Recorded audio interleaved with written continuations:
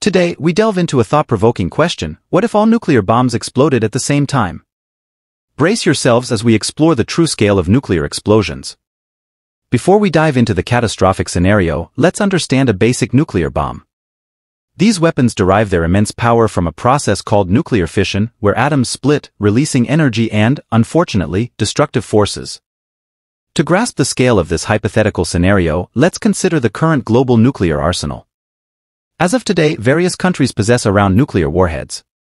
Although disarmament efforts have been made, the existence of these weapons remains a global concern. If all nuclear bombs were to detonate simultaneously, a chain reaction of devastation would unfold. Each detonation would release an extraordinary amount of energy, causing an unimaginable number of casualties. The initial explosions would instantly obliterate nearby cities. The immediate danger wouldn't stop at the initial blasts. The nuclear fallout, consisting of radioactive particles, would spread rapidly through the atmosphere. Winds would carry the deadly contaminants across continents, contaminating air, water, and soil for years to come.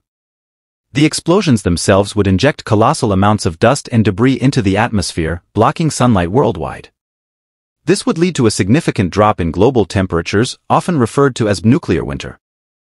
Crop failures, famine, and other environmental catastrophes would ensue. The human toll of simultaneous nuclear detonations cannot be overstated. The immediate deaths and injuries would be catastrophic, but the long-term health consequences would persist for generations. Radiation sickness, cancer, and genetic mutations would inflict immeasurable suffering on survivors. Reflecting on this chilling hypothetical scenario emphasizes the importance of nuclear nonproliferation and disarmament. International cooperation, dialogue, and diplomatic efforts are crucial for a safer world. By reducing nuclear weapon stockpiles, we can work towards a future devoid of this devastating threat. While imagining a scenario where all nuclear bombs detonate simultaneously is chilling, we must remember that it is our collective responsibility to prevent such a catastrophic event.